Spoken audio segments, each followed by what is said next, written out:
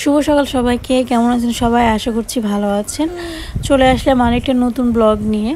আজকের ব্লগটা একটু অন্যরকম। আজকে আমাদের খাবার দাবার একদমই অন্যরকম হবে, কারণ আজকে হচ্ছে ভগবানের উদ্দেশ্যে কিছু রান্নাবান্না করা হবে। মানে হচ্ছে ভগবানকে ভোগ দেওয়া হবে। তো আমরা সবাই জানি যে এখন দামোদর মাস চলতেছে, যদিও বা আজকে লাস্টের দিন। তো এর জন্য ঠাকুরকে ভোগ দেওয়ার জন্য রান্নাবান্না করা হচ্ছে সকাল থেকে। অনেক ধরনের নিরামিষ রান্নাবান্না হচ্ছে, এখানে চুলায় কিছু রান্না হচ্ছে, তার সাথে কিছু রান্না হয়ে গেছে, কিছু জোগাড় যন্ত্র করা হচ্ছে। এটা হচ্ছে শুক্তোর ডাল, করলা দিয়ে করা হয়েছে। এখানে ভাজা রান্না করা কমপ্লিট আর এখানে দিদি আর মা রান্না শুরু করে দিয়েছে মানে রান্না বান্না করতেছে। অনেক আইটেম রান্না করা হবে, এর জন্য অনেক বেশি সময়ও লাগবে।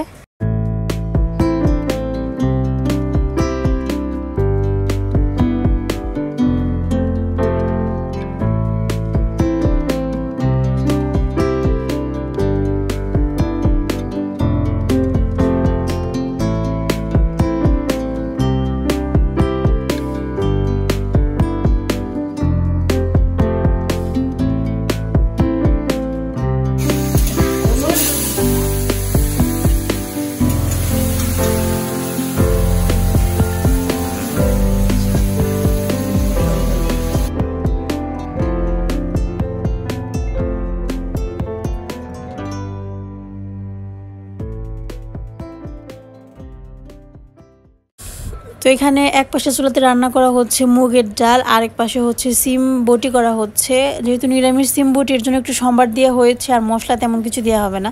এখানে আমি খিচুড়ির জন্য পোলাওয়ের চাল আর মুগ ডাল ধুয়ে নিচ্ছি। তো সকালের খাবারের জন্য খিচুড়ি রান্না করা হবে। আর দুপুরের জন্য হচ্ছে আলাদা রান্না করা হবে।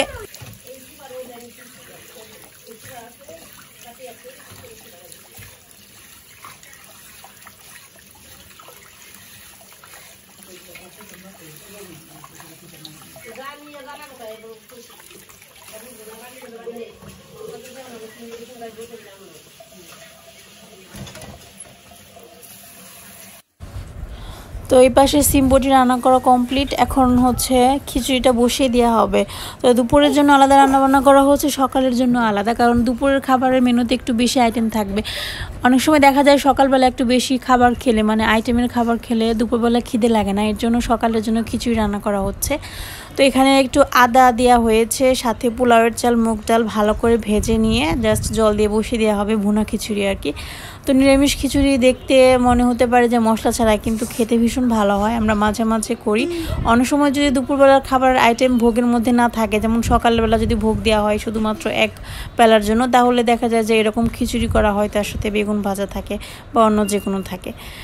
তো এই পাশের চুলাতে হচ্ছে মা রান্না করতেছে, দুপুরের আইটেম এখানে সকালের আইটেম দিদি রান্না করতেছে। এখন রান্না করা হচ্ছে কি? দেখা যাক, একটু জিরে ফোড়ন দেওয়া হলো।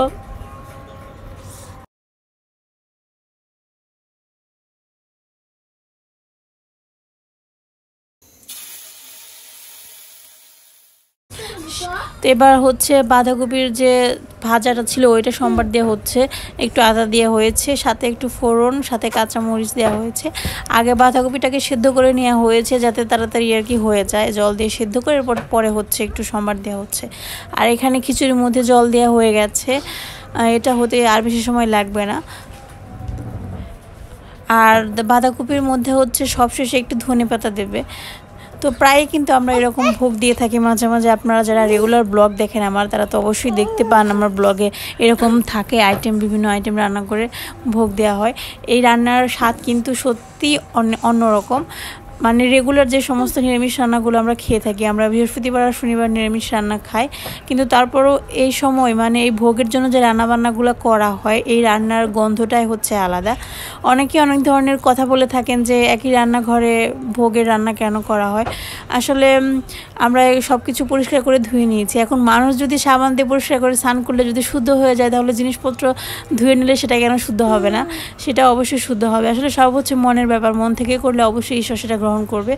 তো ইনি হচ্ছে আমার পিসি, হয়তো আপনারা কমেন্টস করতে পারেন যে কথামণি ঠাকুমা এখানে কেন? তো ইনি হচ্ছে আমার পিসি ইনি হচ্ছে আমার পিসি শাশুড়ি, উনি নাম কীর্তনে গিয়েছিল ইচাইল, সেখান থেকে আমাদের বাসায় নিয়ে আসা হয়েছে আর কি, বেড়াতে আসছে। তো উনিও হাতে হাতে আমাদের কাজ করে দিচ্ছে। আসলে মেয়েদের যেখানে যাক না কেন কাজ তো অবশ্যই করতে হবে।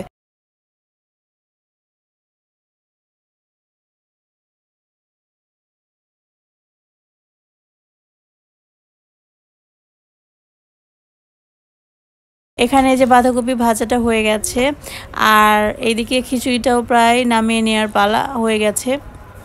আর ভোগের রান্নার সব থেকে বড় অসুবিধা হচ্ছে লবণ টেস্ট করা যায় না জাস্ট অনুমান করে দিয়ে দিতে হয়। কিন্তু তারপরেও দেখা যায় যে কাছাকাছি হয়ে যায়, একেবারে আলুনা তো হয় না মানে একেবারে লবণ ছাড়া হয় না।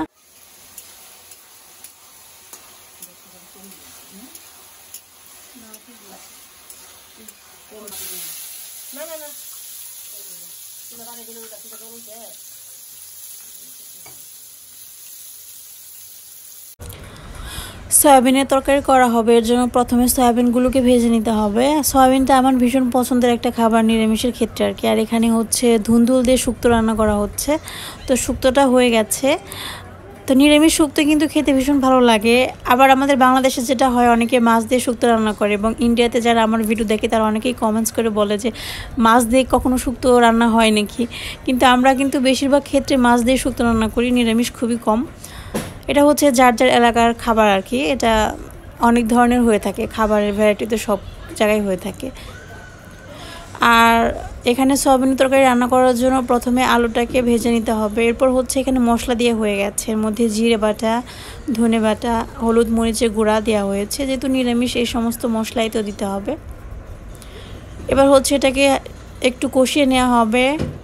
ফুলকপি দিয়ে রান্না করা হচ্ছে আর ফুলকপিটাকে আগে ভেজে নেওয়া হয়েছে। এখন তো আর ওই রকম ফুলকপি পাওয়া যায় না মানে সিজন তো পুরোপুরি আসেনি। পাওয়া গেলেও সেগুলো শক্ত হয়, রান্না করতে একটু বেশি সময় লাগে। এর জন্য আগে ভেজে নিয়ে রান্না করলে খুব তাড়াতাড়ি হয়ে যায়।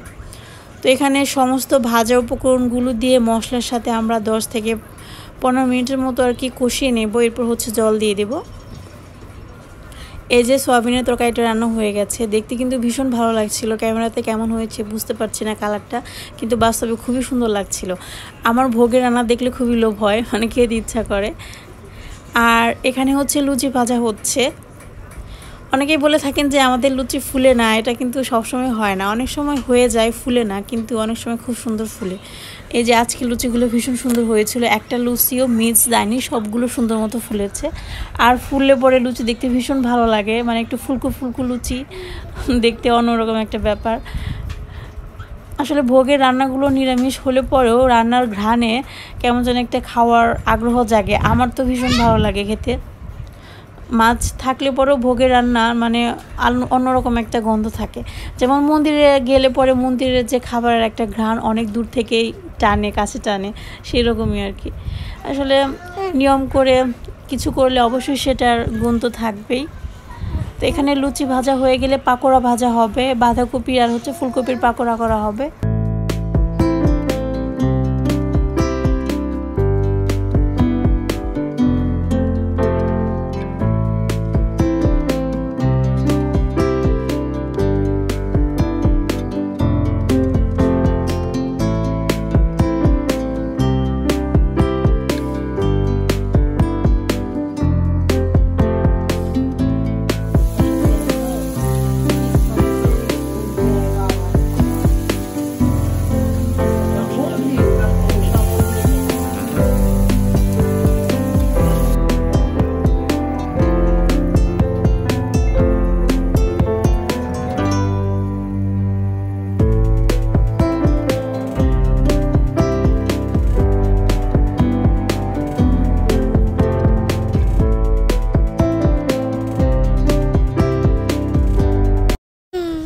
এখানে হচ্ছে দিদি সমস্ত রান্নাবান্না কমপ্লিট হয়ে গেছে। এখন হচ্ছে ভোগের জন্য সব রেডি করতেছে।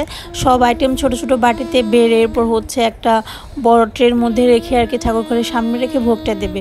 আসলে এত বড় বড় হাঁডি পাতিল নিয়ে তোর ভোগ দেওয়া যাবে না। এর জন্য ছোট ছোট বাটিতে করে সুন্দর করে সাজে পরিবেশন করে ঈশ্বরের সামনে নিবেদন করলে দেখতেও ভালো লাগে নিজের কাছে। আর হয়তো ভগবানও অনেক খুশি হবে। তো এটা হচ্ছে যার যার মনের ব্যাপার। অনেকে অনেক ধরনের কমেন্টস করে থাকেন, এই সমস্ত ভিডিও দেখলে, কিন্তু দয়া করে এই সমস্ত কমেন্টস করবেন না। কারণ আসলে ধর্ম জিনিসটা যার যার মনের ব্যাপার, এটা যে যেভাবে মন চায়, সে সেভাবেই পালন করে। তো এটা নিয়ে আসলে কোনো ধরনের খারাপ মন্তব্য করা কারোরই ঠিক না। আশা করব আপনারা সকলে এটাকে শ্রদ্ধার চোখেই দেখবেন।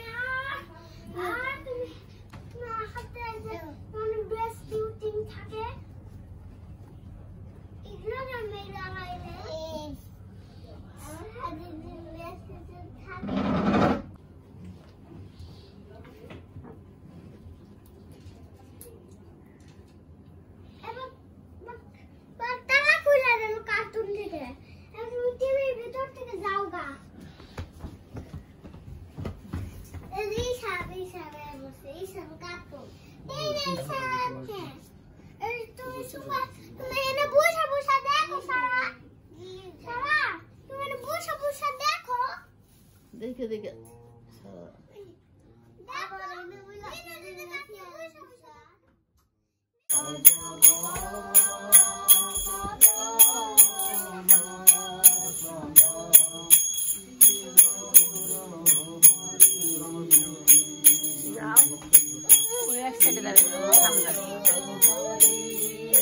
Oh, yeah, I don't know.